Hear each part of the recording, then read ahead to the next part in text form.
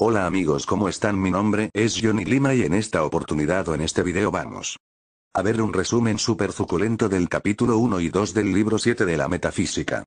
Del grande, fabuloso, majestuoso y super filósofo Aristóteles Chan, veamos.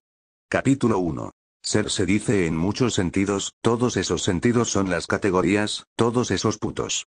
Sentidos se refieren a una unidad, esa unidad es la sustancia y la sustancia es el primer sentido del ser.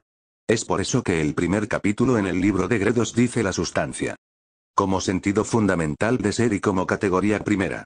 Cabe señalar que la entidad es lo mismo que la sustancia, XD Además si la sustancia es lo primero, lo primero se dice en muchos sentidos y en todos ellos la sustancia es lo primordial, en cuanto a noción, conocimiento y tiempo.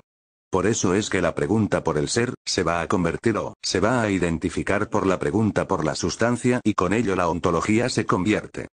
O se va a derivar en usiología. Por último, al final del capítulo 1 dice, debemos Estudiar sobre todo, en primer lugar y por así decirlo, exclusivamente qué es el ser. En el sentido de la sustancia.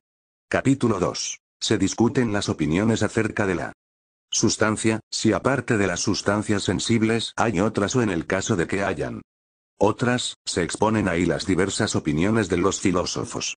Se termina señalando un programa de lo que se va a hacer. Primero indicar esquemáticamente qué es la sustancia, y. Luego examinar las doctrinas anteriores acerca de ella que señalaron los filósofos como Platón, los pinches pitagóricos, un tal Genócrates, etcétera, etcétera. Ellos dicen que es la sustancia.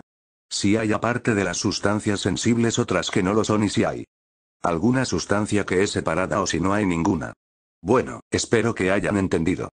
Este resumen, no se olviden de dejar un like y suscribirse al canal, así me ayudarían a seguir difundiendo todo este conocimiento de la filosofía espacial. Adiós. W.